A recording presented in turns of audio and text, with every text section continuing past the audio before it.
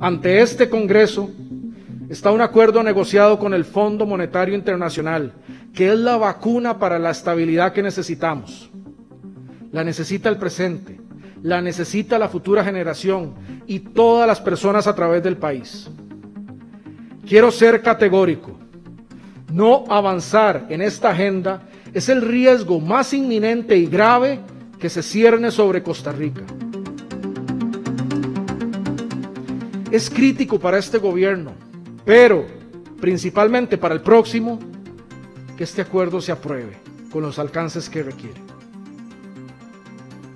De no ser así, el próximo gobierno entrará en su primer año con un terreno enlodado, teniendo que arreglar problemas que hoy podemos y debemos dejar solucionados. Adelanto que, para cumplir las metas, la próxima administración deberá seguir en la ruta de rigurosidad de la hacienda pública y clara priorización de su agenda. No hay margen para tanteos, indisciplina o despifarros. Pude haber evitado el costo político de enfrentar de lleno este tema en mi último año de administración. Pero ese cálculo no lo hago, ni lo haré, porque sería traicionar al país al que juré servir. Basamos nuestra acción en información rigurosa, datos, historia y creatividad, no en camisas de fuerzas ideológicas o dogmas.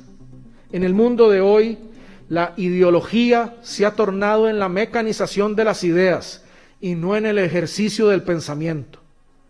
Por eso, no me sorprende ver que la izquierda me llame neoliberal y la derecha me llame comunista.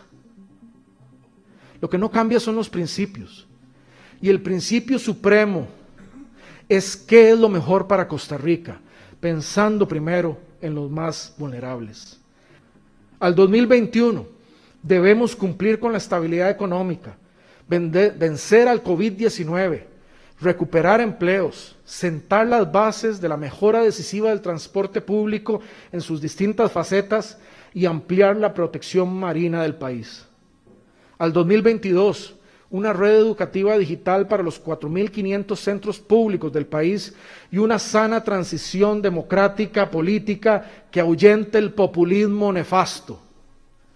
Al 2023, un superávit primario de las finanzas públicas, gracias a lo que decidamos en las próximas semanas, que trace la salud de nuestra economía y un buen futuro a los jóvenes y más vulnerables. Al 2025, la primera línea del tren metropolitano eléctrico. Al 2026, toda la red de caminos nacionales con sello asfáltico.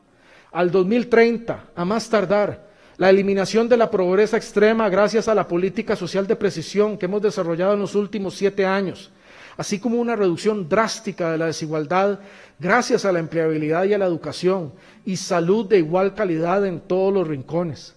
Al 2040, que todo graduado de la educación pública sea bilingüe. Al 2050, una economía que culmina su proceso de descarbonización con sostenibilidad, con respeto pleno a los derechos humanos, sin pobreza, con igualdad de oportunidades, donde las desigualdades que existan no se deban a la falta de oportunidades, sino al esfuerzo y talento de quienes quieran sobresalir. En ese 2050, un país con 11 polos de desarrollo descarbonizados, digitalizados y descentralizados, que generan bienestar en todo el territorio, para todas y todos, a partir de la estrategia económica territorial para una economía inclusiva y descarbonizada.